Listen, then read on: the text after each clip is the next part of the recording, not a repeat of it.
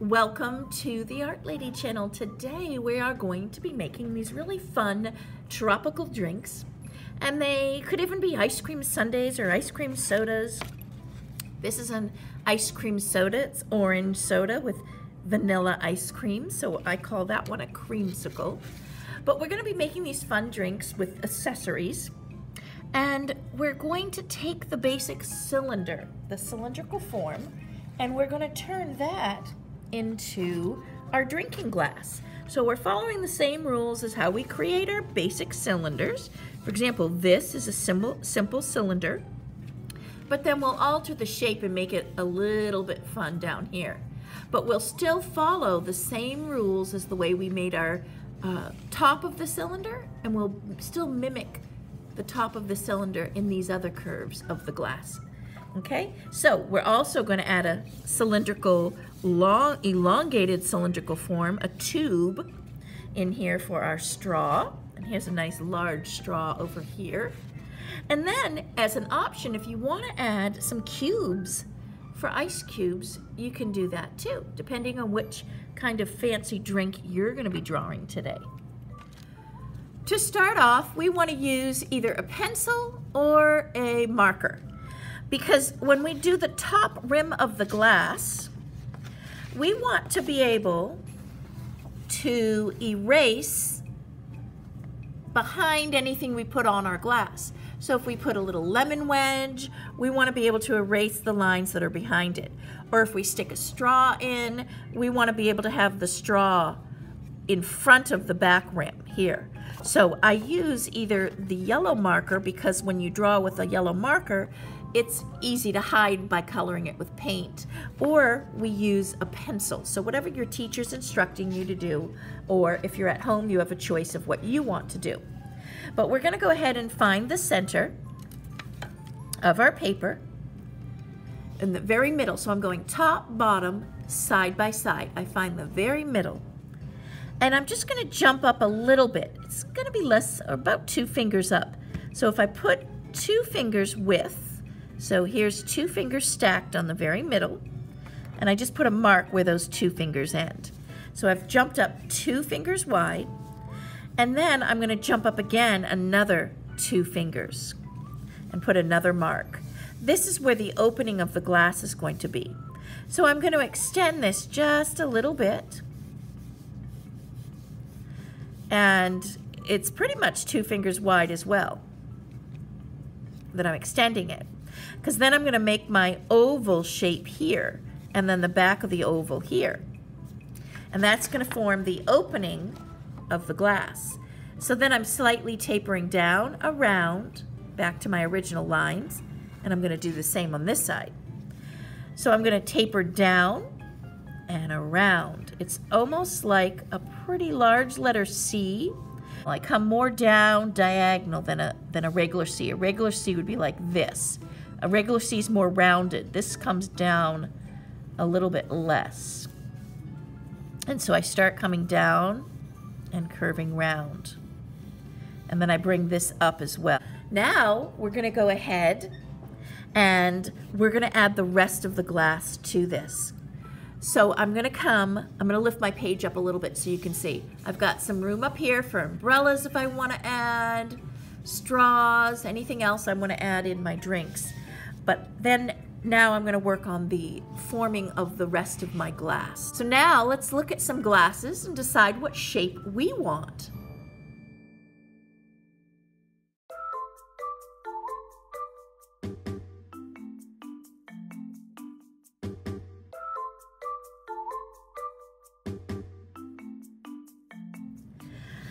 So once you've decided the shape of your glass, then you're going to decide how tall the stem is going to be.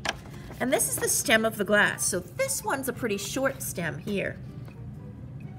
Wayne Thiebaud, when he did some parfaits, he had some really long stems. And I'll show you what that looks like.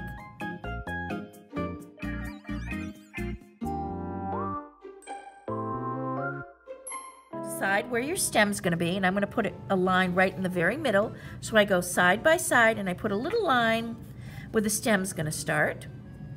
And then I know the rest of this part's gonna be the glass. And then the the foot of the glass will come down here. So I'm going to start forming my glass. So I'm going to come over and up. I'm going to give it a rounded base here. So this is almost like a letter U I'm making here.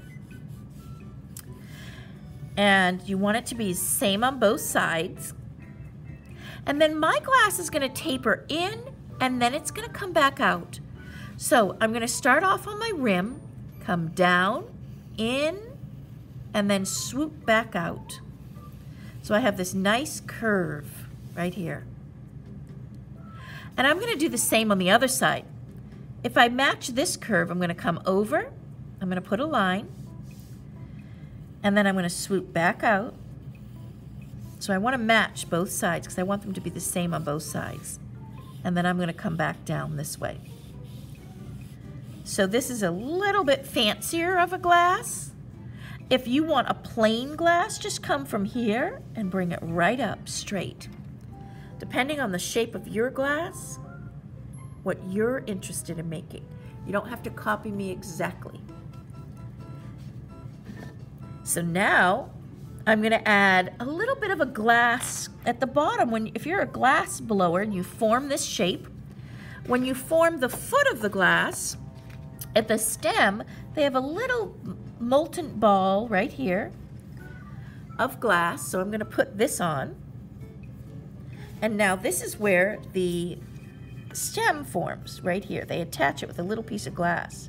So I'm coming two lines down for my stem. And then I'm going to flare out for the foot of my glass. So I come down diagonal and down diagonal. Now I'm going to round these corners. So curving down, curve down. So come down and around. And then this is right in here, a slightly curved line. So that's the foot of that glass, the stem and the foot. So now I have a really pretty shaped glass that makes an interesting design. And now I'm gonna fill it with some accessories. Am I gonna have straws? Am I gonna have fruit? Decide what kind of drink you want to put in yours. For the next part of the video, you're gonna be adding your own accessories to make it your own tropical drink. Um, it could be an ice cream soda. So if you're gonna do an ice cream soda, you can add freeform shapes for ice cream. If you're gonna do like a tropical iced tea, you can add your own fruit and straws and ice cubes. So whatever you decide to make your drink. Some of you might wanna do a root beer float. So you can brainstorm cool-eyed tropical drinks but I will show you how to do ice cubes, straws, and a fancy umbrella in the next section of the video. In the very end, I'll show you some paint techniques as well. We're gonna follow the formula of just a simple box because we wanna be able to see through our ice cubes. So I'm gonna turn my glass to the side and then I'm going to draw my cube. And I'm going to do it, um, if you notice, it's a little bit wider than my finger. It's about an inch wide. And so I'm going to draw my cube. So I'm going to now put the other side of the cube so I jump up from my corner. And I do have a video on how to draw these cubes. And I'm going to draw the same size square. So I I just draw two squares. One is above the other. And then I connect both of these down. So there's my cube. Now I'm going to go ahead and put another ice cube in. And I'm just going to place one right here. And you want to keep the second cube the same size as the first. So instead of ice cream, this is going to be an iced drink. I'm actually going to be making a Shirley Temple, which is a Sprite added and a little bit of cherry juices added to it. Now I'm going to go ahead and add my straw. And I want my straw to come behind these ice cubes. So I'm going to start the, the straw bottom right here. I'm going to just do a straight line and just go right through everything. And then do the same on the other side. And then I'm going to do the opening of the straw right here with an oval. Now this is what will get erased, the back here for the straw. And then these lines are going to get erased as well because I want the ice cubes to be in the front. So the straw is going to be behind the ice cubes. Here's my ice cube here. So now I'm going to put a umbrella inside this drink. And I have a little fancy umbrella right here. These are those little drink umbrellas that you get at the restaurants. And I remember as a kid, I used to get these right here in my Shirley Temple. So we're making a Shirley Temple today, so we're gonna go ahead and put an umbrella in our drink, like so. So I'm gonna start off, I want the center line here that comes right down the middle. If you look at that, it's, um, it's got a, a, a like a toothpick. So I want to start with that center line. So I'm going to do the top of the umbrella, which is here, and I'm just going to go straight down. So my umbrella is going to be on this side. So I'm going to give it the thickness right here. And then this goes through the umbrella, and then I'm just going to come down with my stick that goes in the glass. So this area is where the umbrella is going to be opened. So I'm going to open it up slightly and then I'm going to come down straight on each side. And if you notice here, see how these little supports in the umbrella stick out a little bit? We're going to put those in as well. So I'm going to come open on each side. So I'm going to draw a straight line down, straight line down this way. And then I'm going to give some supports. So I'm going to do a support here and a support here. And then I'm just going to basically connect these edges. Connect. So here's my supports. And I'm going to connect, at a support here. So now I have a lovely little umbrella in my Shirley Temple drink. I'm going to show you how I did these ice cubes. What I did was I took my lines of my ice cubes and I lightly erased them. I still want to see my ice cube shapes, but I'm lightly erasing. And then I'm going to trace over my ice cubes now with a gray crayon. So I traced the ice cubes because you see through the ice cubes.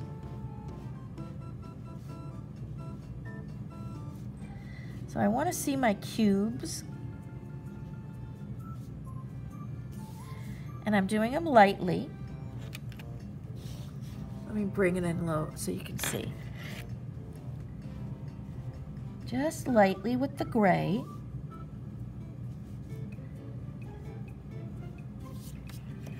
And then I take my white crayon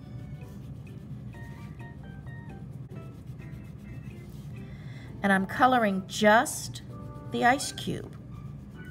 Real careful, pushing really hard. That way when I paint in my drink, it causes a resist. See how it forms that resist?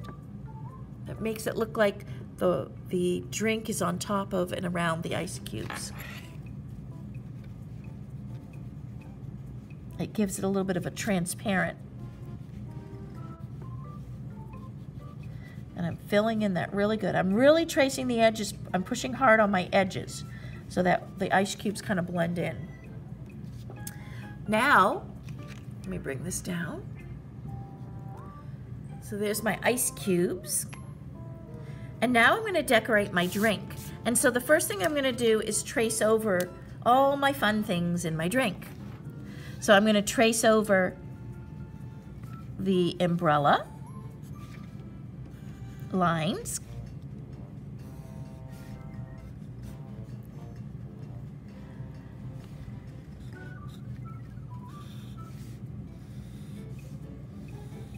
And then all of the good lines I will be tracing now with Sharpie. And I'll show you what that looks like in a minute. If you want to add a table, that's always helps with composition. So I add a horizontal line coming across for that. And then you can decorate wallpapers and tablecloths. To finish this particular picture, I'm going to be using crayons and a watercolor tray. You can use anything that you have at home, but I just prefer this technique for the drink. And then it's also nice for the wallpapers or the tablecloths. And what I do with the resist is I push really hard with the crayon to add pattern. Here it is in the, table the wallpaper or the tablecloth by pushing real hard with the crayon. And then when you do a light wash of paint on top, it gives a little bit of texture right on top of the crayon. It's a wash of watercolor. Wherever the crayon is, it resists, the paint will resist and pop off.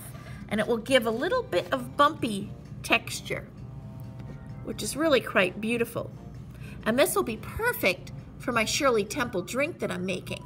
So I'm gonna be lightly coloring where I want the texture to be kind of bumpy and two-toned with paint. So I've got lots of different values in here from the paint and the crayon. Same thing here on this tablecloth here. I did a light color of, of turquoise crayon, and then when I went on top with green paint, I get these nice values of color. So I'm gonna show you how I'm gonna do my Shirley Temple, the drink part. I'm just gonna lightly color my drink.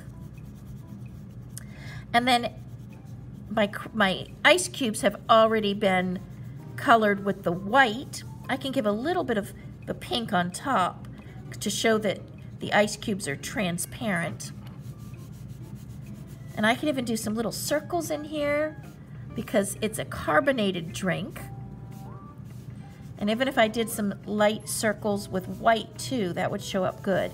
I'm gonna give some lines at the bottom, for, bottom here for some reflection. Sometimes the color reflects down the stem. And of course I'm going inside here. Now where I want some distinct lines, like the tablecloth, then I'll use a, a darker pressure for the crayon. So I'm gonna go ahead and design my paper with crayon and then I'll show you what it looks like once I've done all the crayon part. I am going to put in a fancy design on my umbrella as well. Here's what I have so far. I just kept three basic colors. I did a red, a pink, and a little highlight of green. And for the tablecloth, I did some polka dots. And I showed a little bit of perspective where I had the polka dots a little bit bigger in the front. And as they get farther back on the table, they got a little bit smaller. And I did a little bit of transparent color behind my ice cube. So very lightly I added the straw in because you would see through the ice cubes just a little hint of color. So I went ahead and added that. And then I did some designs in my umbrella. Now I'm gonna do some watercolor wash on top and I'll show you what that looks like. To create the watercolor resist, you would go into the water and then touch the color and moisten it. Once the color is moistened, you then go into the water and then lightly touch that color.